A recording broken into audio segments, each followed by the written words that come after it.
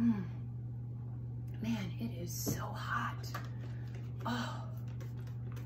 Oh, yeah. Oh, are you guys ready to break out?